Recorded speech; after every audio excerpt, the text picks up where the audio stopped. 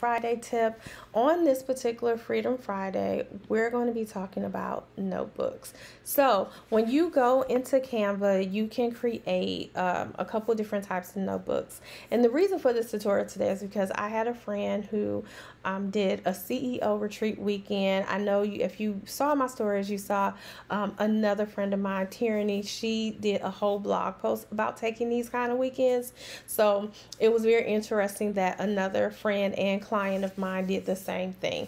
Um, she went up to Greensboro, she booked herself a room, and she got a lot of work done. And I'm super, super proud of her. Um, once she created her welcome packet for her new clients, um, one of the things she worked on was a notebook but she wasn't sure how to combine the line pages and the cover in the back of the notebook. So initially what she did was went into Canva and typed in notebook, right? So you click on notebook and it brings up all of these different templates. And as you can see with these types of notebooks, you have um, the notebooks that fold in half. So this is the front and this is the back, right, um, of the notebook. And so initially that's what she selected, okay? So when she selected it, she came up with this notebook, right? But in a separate Canva project, she created the note sections for the notebook and she didn't know how to combine them. So um, once I got on the phone call with her, she said she actually didn't even want the notebook to fold in half. She wanted it to be where it had the spirals at the top and they can just flip over. So I was like, well, let's just change the sizing of it. Keep your notes so you don't have to reinvent the wheel with that. And we'll just move the cover and the back of the notebook over here to this one. So here's what I did. Um, first and foremost, I just clicked on the add page button so I can hit add page and move that up because now this is going to be the cover. I went back to the um, selection where she had the project where she had the folding notebook. Um, and so I just copied that information there. And I did that by simply just highlighting I'll do that again. Hi, um, moving my cursor to the outside of the, the actual item.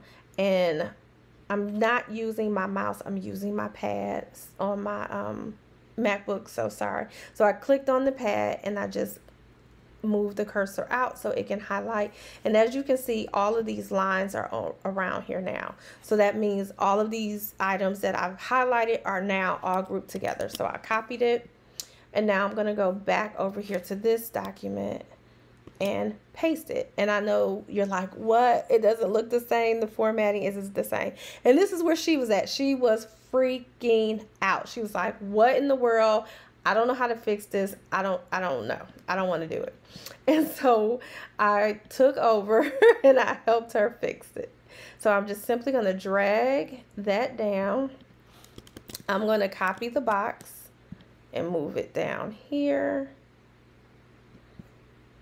And resize that a little bit. And that lets me know that this probably needs to go up a little bit more. So I'm gonna move that. So now it's half and half right? But I want her other color. So in order to get this color I'm to click inside that section. And you see it provides that color right there. So I'm now just to click on that color. And if you highlight over it it shows you the color I would rather copy and paste this. So in order for me to get that code, I'm just going to click on new color and there's the color code there. I'm just going to copy it, go back over here, go inside of where that color is and put it um, inside of that search bar. So now there's her other color. So we don't want to keep it like this because um, it just is off, right? So now I'm just going to take the section right here and I'm going to move that down here a little bit. Uh-oh, undo. And I want to bring this back up. Now I noticed that there was something a little off with it. So I'm going to resize it because I want her full, full logo to show. So I'm going to put that there. Move it over just a tad bit and you're going to see why in a minute. And then I'm going to take this, move it to the middle. bring it out. And I'm just resizing it just so I can get a good size for this. Um, make sure that's centered. But then it looks like it's missing something, right? Like it's it's not everything is not everything, right? So I was like, wait a minute, your butterfly. Let's put that on there. So I'm going to go over here. And you see that butterfly that's in the back? I'm just going to click on it and copy it and pull it over here. And resize that a little bit. And I know you're like, wait, we, we can't see it what's the point? We can't see it. So her butterfly is typically white. I didn't have a copy of her white butterfly, but that's not going to stop me. I'm going to recolor it. So in order to do that, I'm just going to keep this highlighted and I'm going to click on effects. I want to do a duotone. I'm just going to click inside of that and I'm going to choose cherry. And then you see these little setting brackets come up. I'm going to click on that and where it says highlight I'm going to change all of these colors to white. And then the same thing for the shadows. I'm going to change it to white. And you do not need to know the color code. If you don't know the color code that's totally fine. You can just drag the dropper around.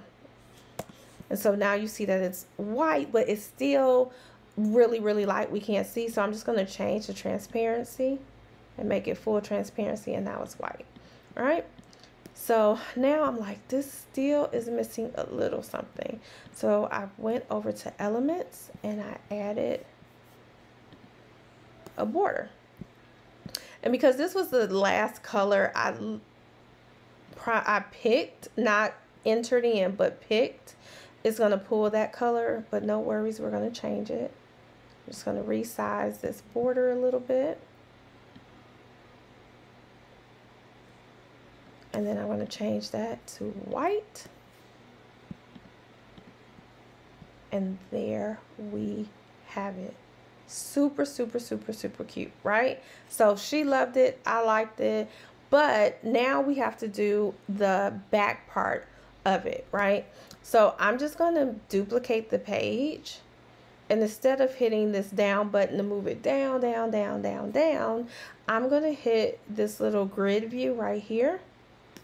So now I can take it and move it all the way to the end. And because I've done this for her already, I'm just going to repeat what I did, okay? So I'm just going to click in here for the purpose of this tutorial and show you what I did. So we're going to take this off. Oh, actually, let me position this to the back because I don't need it just yet. Um, take that off. I'm going to leave that there. But she had this phrase up here that she liked. Move that and put that there. Got this. Back. So I just want to grab this and move it to the front. Okay now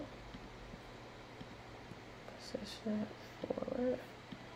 All right perfect. So now we have a, a, very similar look for the back part of it. And now when she gets it um, when they bind it they can bind it the way that she needs to. And she has all of her notebook pages in here as well. So creating in Canva really doesn't have to be that difficult. If you would like some pointers, some tips, I do have a mini course um, for only $25 that you guys can enroll in and take and it gives you all kinds of Canvas tips and tricks. Thank you for joining for Freedom Friday and I will see you